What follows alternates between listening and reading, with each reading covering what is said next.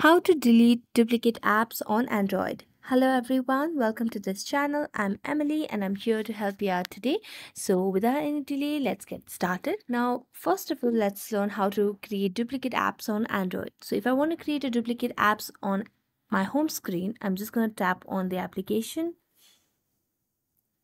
and then I'm just going to go to the app list and so if I want to just create the duplicate app, I'm going to tap on this AliExpress and then drag it to the home screen.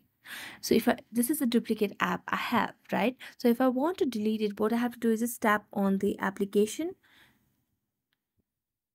and you can see different options of share, app info or remove. Just tap on remove and there you go. So thank you so much for watching this video. If you enjoyed it, then don't forget to like, subscribe and hit the bell notification for more updates. That's it for today and see you next time.